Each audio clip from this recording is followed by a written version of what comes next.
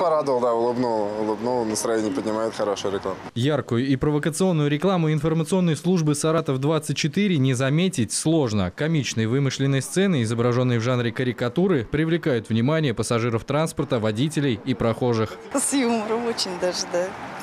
Интересно. Задумка самая интересная. Ну, улыбает, да, конечно. Есть такой комедийный какой-то сюжет, типа. Сцены вымышленные и отчасти примитивные, но идея глобальная. Чем бы ни занимались зрители, их внимание к экранам телевизора приковывает интересная и важная новость. Таким образом, мы хотели, во-первых, отразить э, суть э, нашей редакции информационной «Саратов-24», потому что мы действительно создаем продукт, который невозможно игнорировать, если ты житель Саратова, если ты живешь в этом городе, если ты любишь его, если тебе не безразлично все, что происходит происходит в регионе. А во-вторых, мы хотели сделать это ну, в наиболее такой э, шуточной форме. Яркий пример. Новость о неисправном аттракционе «Камикадзе» оказалась интересна более 8 тысячам саратовцев. Среди многочисленных зрителей, посмотревших сюжет, губернатор Валерий Радаев. В средствах массовой информации, вот только что его заполучил. Саратов-24 есть такой. Застряли вниз головой.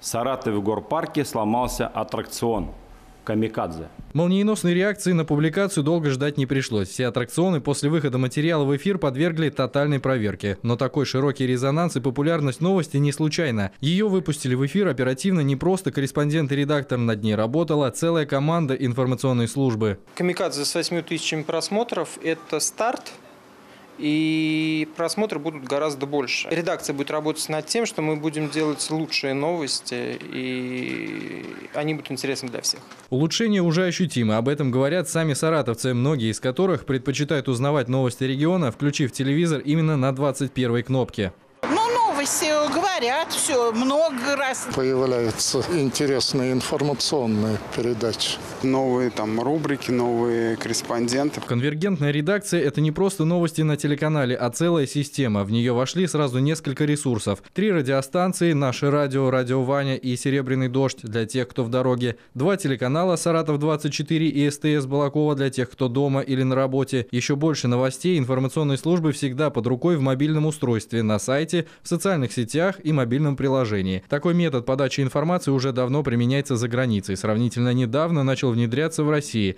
Для Саратова опыт и вовсе уникальный. Человек пользуется теми ресурсами, которые у него под рукой – телевизор, радио или интернет, и везде получает полную картину происходящего. То, что на Саратов-24 создана вот такая конвергентная журналистская проба, инициатива, дело, как угодно – вот, это для нашего региона замечательно. Другими словами, информационная служба «Саратов-24» ставит перед собой амбициозную задачу стать главным ньюсмейкером региона и не просто рассказывать новости, а самим задавать информационную повестку, обращая внимание жителей города на то, что действительно невозможно игнорировать. Станислав Жижин, Максим Пустовалов, «Саратов-24».